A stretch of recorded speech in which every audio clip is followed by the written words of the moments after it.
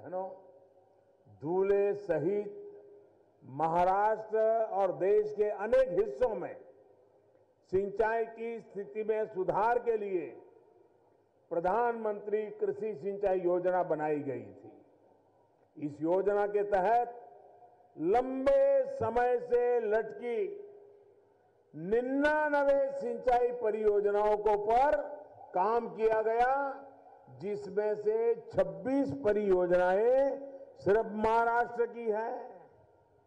भाइयों और बहनों, आज जिस लोअर पंजारा सिंचाई परियोजना का लोकार्पण किया गया है, वो इन्हीं 26 प्रोजेक्ट में से एक था।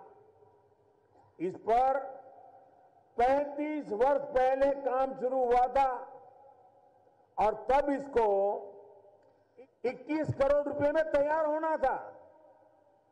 आज ये प्रोजेक्ट साढ़े पाँच सौ करोड़ से ज़्यादा खर्च करके पूरा कर दिया गया। साथियों, महाराष्ट्र में पानी की कमी और इससे होने वाले सूखे से मुक्ति दिलाने के लिए केंद्र सरकार हर संभव प्रयास कर रही है।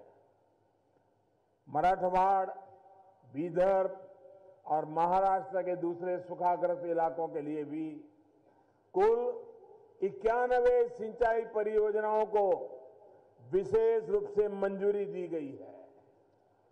करीब चौदह हज़ार करोड़ की इन परियोजनाओं को समय सीमा के भीतर पूरा करने के लिए सरकार प्रयास कर रही है। जब ये प्रोजेक्ट पूरे हो जाएँगे तो इनसे पौने चार लाख हेक्टर से भी ज़्यादा भूमि को सिंचाई के दायरे में लाया जा सकेगा।